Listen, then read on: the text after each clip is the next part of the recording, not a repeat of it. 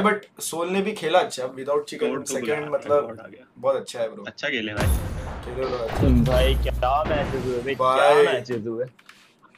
क्या चल रहा था दिमाग में? अगर ये हार जाते तो फिर ट्रॉफी नहीं मिलती। पहले दो दिन हम लोग आए खेले।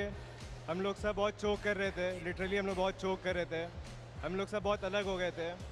पर फिर हम लोग दो दिन बाद रियलाइज़ किए कि हम लोग टीम जैसा नहीं खेल रहे। हैं हम लोग जैसे घर पे खेलते थे, वैसे हम लोग नहीं खेल रहे हैं।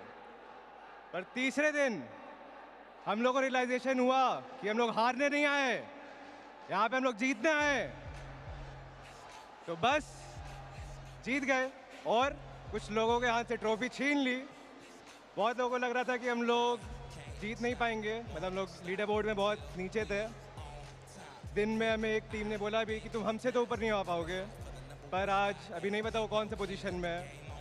हु हु हु गया उनका। पर ठीक है। All the best for the next event thank you not win gaming thank you S बहुत अच्छा इवेंट आप लोगों ने कराया। हमें होस्ट करने के लिए बहुत मैं ग्रेटफुल हूँ आपका। Thank you everyone